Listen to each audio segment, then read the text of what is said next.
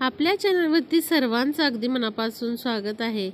तर नऊ एप्रिलला मंगळवारी आहे गुढीपाडवा आणि गुढीपाडव्या दिवशी लक्ष्मीकारक अशा गोष्टी केल्यामुळे लक्ष्मीकारक काही कामं आपण केल्यामुळे नक्कीच आपल्याला त्याचा खूप छान फायदा होतो. वर्षभर आपली चांगली प्रगती होते. त्यामुळे बघा गुढीपाडव्याच्या दिवशी लक्ष्मी प्राप्तीसाठी आपण काही उपाय करायचे आहेत. आपल्या घरामध्ये वर्षभर धनधान्याची कमतरता भासू नये. माता लक्ष्मीने आपल्या घरामध्ये अखंड वास करावा. त्याचबरोबर वायफळ पैसा खर्च होऊ नये. आपला पैसा जो आहे त्याची बचत व्हावी आणि आपल्या घरामध्ये नेहमी सुख समृद्धी भरभराट राहावी अन्नपूर्णा मातेचा आपल्यावर आशीर्वाद राहावा. यासाठी आपल्याला गुढीपाडव्याच्या दिवशी अत्यंत प्रभावी आणि तितकाच सोपा उपाय हा करायचा आहे. तर बघा पहिला जो उपाय आहे तो आपल्याला काचेच्या ग्लासचा करायचा आहे. अत्यंत प्रभावी उपाय आहे हा. यामुळे वर्षभर आपल्या घरामध्ये अन्नधान्याची कमतरता पडत नाही किंवा माता लक्ष्मी आपल्या घरामध्ये नेहमी अखंड वास करते पैशाची आवक आपल्या घरामध्ये वाढते. असा हा उपाय आहे गुढीपाडव्याच्या दिवशी. सर्वांनी हा उपाय करायचा आहे. जरी तुमच्या घरामध्ये कुठल्याच प्रकारची आर्थिक अडचण नसेल तरी देखील हा उपाय आपल्याला करायचा आहे. कारण येणारं वर्ष आपलं चांगलं जावं भरभराटीचं जावं यासाठी प्रत्येकाने हा उपाय आवर्जून करायचा आहे. खूप सोपा उपाय आहे. आणि गुढीपाडव्याच्या दिवशी जर तुम्हाला काही कारणांमुळे हा उपाय जमला नाही तर कुठल्याही मंगळवारी किंवा शुक्रवारी तुम्ही लक्ष्मी प्राप्तीसाठी हा उपाय करू शकता. घरातील स्त्री किंवा पुरुष कोणीही हा उपाय करू शकतं. तर बघा पहिल्यांदा आपल्याला काचेचा ग्लास घ्यायचा आहे. आपल्या सर्वांच्या घरामध्ये काचेचा ग्लास हा असतोच. आता काचेचा ग्लास नसेल तर काय वापरायचं? तर तुम्ही मातीचं छोटंसं सुगडं जे असतं ते वापरू शकता. पण लक्षात घ्या शक्यतो काचेचा ग्लास या उपायासाठी वापरा. आता काय करायचं या काचेच्या ग्लासमध्ये आपल्याला तीन खडी साखरेच्या वड्या टाकायच्या आहेत. वड्या म्हणजे काय? अशी ओबडधोबड खडी साखर जी मिळते ती टाकायची आहे. अशी जी चौकोनी वगैरे आकाराची असते ती टाकायची नाही. तर तीन असे खडी साखरेचे खडे जे मिळतात ती टाकायचे आहेत. त्याचबरोबर याच्यामध्ये तुम्हाला तीन हळकुंड टाकायचे आहेत. लक्षात घ्या नवीन हळकुंड या उपायासाठी तुम्ही आणायचे आहेत. आणि गुढीपाडव्याच्या दिवशी जर तुम्ही ही हळकुंड आणली तर खूप आणि खूप जास्त प्रभावी ठरतं ते. कारण घरामध्ये जर आपण गुढीपाडव्याच्या दिवशी हळद किंवा हळकुंड आणलं तर ते फार लक्ष्मीकारक असतं. तर अशी तीन हळकुंड आपल्याला त्यामध्ये टाकायची खडीसाखर टाकल्यानंतर. आता बघा त्याच्यावर आपल्याला काय टाकायचे आहेत तर जे अख्खे अखंड तांदूळ असतात ते टाकायचे आहेत. एक मूठभर तुम्ही हे तांदूळ टाकले तरीही चालेल किंवा पूर्ण ग्लास भरून तुम्ही जर ठेवले तांदूळ तरी देखील चालेल. यथाशक्ती तुम्हाला जेवढे तांदूळ टाकायचे तेवढे टाका पण कमीत कमी एक मूठ तरी टाकायचे आहेत. लक्षात घ्या अर्धे असे तुटलेले तांदूळ किंवा तुकडा तांदूळ जो असतो ना तो वापरू नका. तर अखंड असा तांदूळ जो असतो तो तुम्ही विकत आणा आणि तो या उपायासाठी वापरा किंवा असे हात लावलेले वापरलेले स्वयंपाकासाठी तांदूळ वापरू नका तुम्ही. या उपायासाठी खास नवीन तांदूळ आणा. आता काय करायचं? हे सगळं भरून ठेवायचं आहे तुम्हाला त्या ग्लासमध्ये आणि त्यानंतर तुम्हाला यावरती एखादी छोटीशी प्लेट किंवा वाटी जी आहे ती झाकायची आहे. आणि तुमच्या देवघरामध्ये तुम्हाला हा जो ग्लास आहे तो ठेवायचा आहे.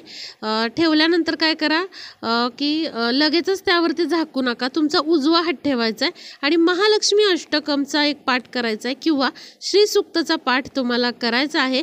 आणि जर तुम्हाला म्हणता येत नसेल तर तुम्ही यूट्यूबवरती दोन्हीही ऐकू शकता. त्यानंतर गुढीपाडव्या दिवशी तुम्हाला एक तास तुमच्या देवघरामध्ये माता लक्ष्मीच्या मूर्तीसमोर किंवा देवघरासमोर तुम्हाला हा ग्लास जो आहे तो ठेवायचा आहे आणि तुमचं ते महालक्ष्मी अष्टकम श्रीसुक्त म्हणून झालं हात काढायचा आहे तुम्हाला त्यावरती झाकण ठेवायचं आहे किंवा एखादी छोटीशी वाटी तुम्ही ठेवू शकता.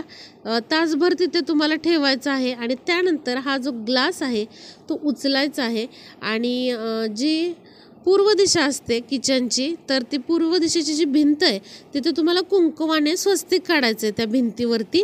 आणि तिथेच शेजारी तुम्हाला हा जो ग्लास आहे तो थोड्याशा वरच्या बाजूला ठेवायचा आहे. जर तुमचे हे असतील असे कॅबिनेट असतील फर्निचर असेल तर त्यामध्ये देखील तुम्ही समजा पूर्व दिशेची भिंत असेल ती तर तिथे एक छोटंसं स्वस्तिक काढा कुंकवाचं.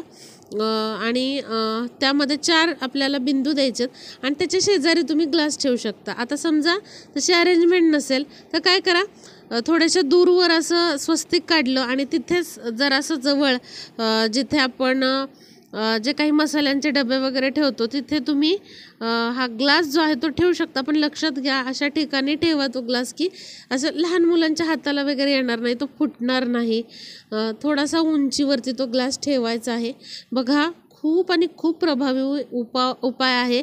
आणि गुढीपाडव्याच्या दिवशी आपण हा उपाय करतोय. त्यामुळे बघा आपल्याला या उपायामुळे आपल्या घरामध्ये नेहमी अन्नधान्याची बरकत राहते. माता लक्ष्मी आपल्या घराकडे आकर्षित होते.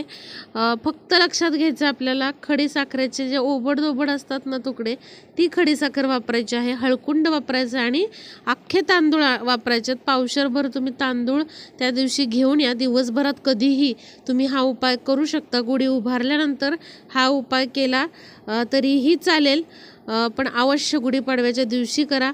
वर्षभर आपल्याला याचा खूप चांगला अनुभव येतो. आता हे बदलायचं कधी? तर तुम्ही कोणत्याही शुक्रवारी मंगळवारी समजा तुम्हाला वाटलं की बाबा आता हे मला बदलायचं किंवा पंधरा दिवसांनी वाटलं तर याच्यातले तांदूळ तुम्ही वापरू शकता.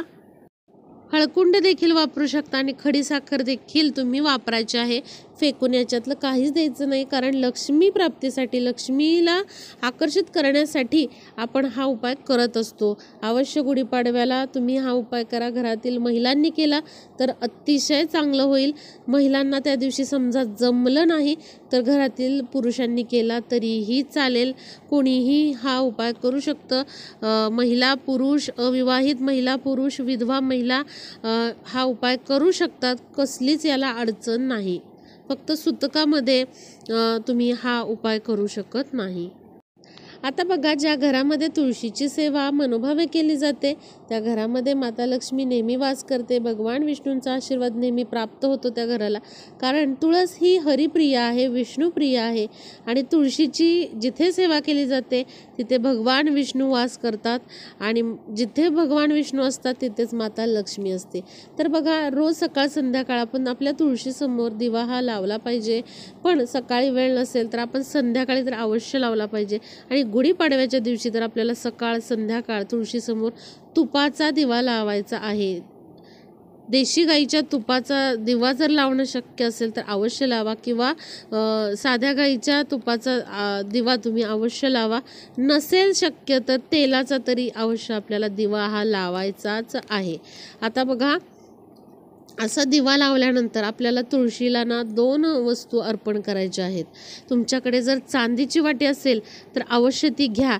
नसेल चांदीची वाटी तर गुढीपाडव्याच्या दिवशी अत्यंत शुभ मुहूर्त असतो. चांदी खरेदी करण्यासाठी सोनं खरेदी करण्यासाठी या दिवशी थोडं तरी सोनं किंवा मग चांदी अवश्य तुम्ही खरेदी करायची आहे.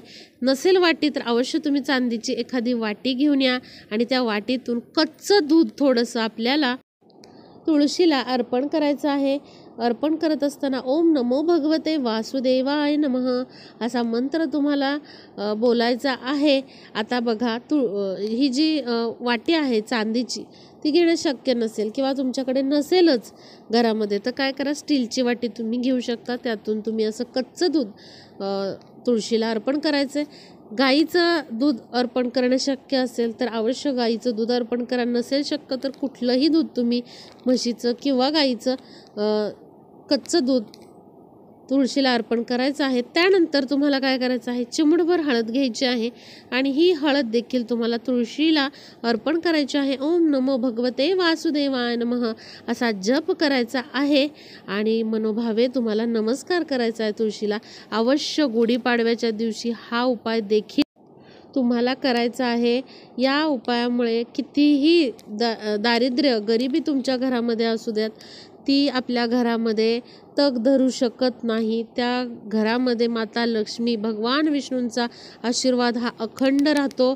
बघा हा उपाय तुम्ही जर गुरुवारी जर केलात तर प्रचंड खूप असे चांगले बदल आश्चर्यकारक बदल तुमच्या आयुष्यामध्ये घडतील. ज्या गोष्टी तुम्ही कधी स्वप्नातही बघितल्या नव्हत्या की बाबा एवढं चांगलं माझं होईल या गोष्टी तुमच्या आयुष्यात घडतील. पण बघा गुढीपाडव्याचा अतिशय शुभ दिवस आहे. त्यामुळे या दोन वस्तू आपल्याला तुळशी मातेला अर्पण करायच्याच आहे. कच्चं दूध आणि चिमूटभर हळद आपल्याला अर्पण करायची आहे. आणि काचेच्या ग्लासचा जो उपाय आहे तो पण आपल्याला अवश्य करायचा आहे. आता बघा गुढीला शेवयांचा नैवेद्य तुम्ही या दिवशी दाखवायचा आहे. गुढी उभारल्यानंतर लगेचच आणि त्याचबरोबर तुळशीला देखील असा हा नैवेद्य आपल्याला दाखवायचा आहे. कोणता तर शेवयांची खीर जी असते ती बनवून तुळशीला देखील तुम्ही असा नैवेद्य दाखवा. देवघरामध्ये देखील तुम्हाला असा शेवयांच्या खिरीचा नैवेद्य दाखवायचा आहे. तर अवश्य हे मी सांगितलेले दोन्हीही उपाय तुम्ही गुढीपाडव्याच्या दिवशी करा. वर्षभर आपल्याला दिवसेंदिवस प्रगती होत जाईल तुम्हाला स्वतः अनुभव येईल. की खूप सारे मार्ग खुले होत आहेत. आणि बघा हे उपाय तुम्ही कोणत्याही गुरुवारी शुक्रवारी वर्षभर करू शकता. इतके प्रभावी उपाय आहे पण सुरुवात मात्र नक्की तुम्ही गुढीपाडव्याला करा. आश्चर्यकारक आणि चमत्कारिक असे खूप चांगले बदल तुमच्या आयुष्यामध्ये होतील. आणि व्हिडिओला जास्तीत जास्त शेअर करा. म्हणजे सर्वजण हा उपाय करू शकतील. आणि नक्कीच कोणाला तरी खूप चांगला मार्ग सापडू शकतो हे उपाय केल्यामुळे. कोणाची तरी अडचण यामुळे दूर होऊ शकते कोणाची तरी प्रगती होऊ शकते.